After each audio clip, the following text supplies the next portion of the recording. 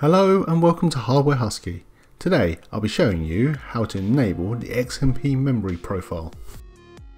Recently I've had a lot of people ask me why their memory that they've purchased is not running at the advertised speed that they paid for. And after a few questions it turns out that they've installed their components, installed the operating system and that's it, they haven't touched anything in the BIOS. So now I'm going to show you how to check the speed of your RAM in Windows.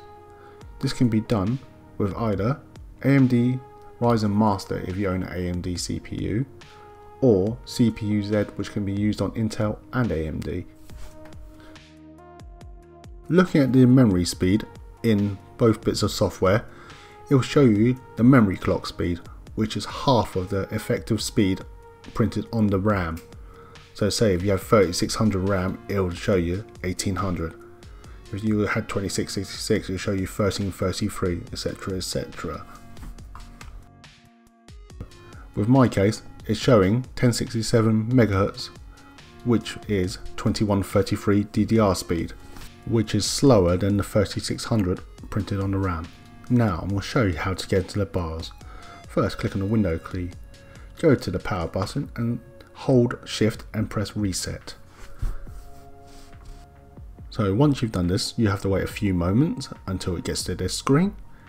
You click troubleshoot, you click advanced options, then you click UEFI firmware settings. Once you click on it, you press restart. Then the system will restart and you'll have to wait a few more moments. And once it comes back on, it will bring you into the BIOS. Now on this motherboard it's under tweakers tab but it could be under tuning tab or memory tab on your BIOS and on some AMD motherboards it's under DOCP. It's best to check with your manual to see where this option is or whether your chipset has this option on it as some low chipsets, low and end chipsets don't have the function. With this motherboard it's on Extreme Memory Profiles XMP you select it and then you get an option of profile 1 or you might even get profile 2 on some memory sticks. Then you save and exit. This can be sometimes done with F10 if not just go to save and exit click on it.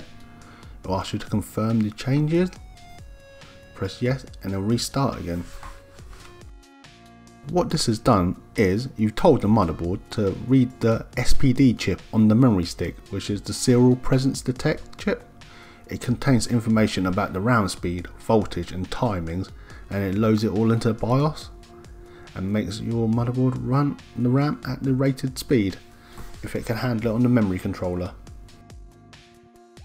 Once it's booted successfully, we want to check the speed, you can go back into AMD Ryzen Master and check the speed. On this one the fabric clock has also changed because of the Ryzen 3000. Also you can check CPU Z and make sure the speed is correct if you're using an Intel system. That's it for this episode of how to enable XMP. I hope you found it useful. Please like, subscribe and follow and I hope I'll see you again.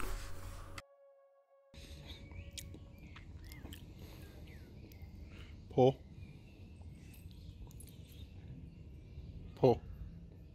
Pull. Pull. Pull. Pull. Pull.